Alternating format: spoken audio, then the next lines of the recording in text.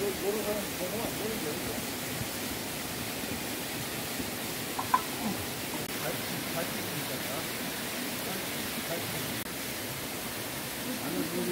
나는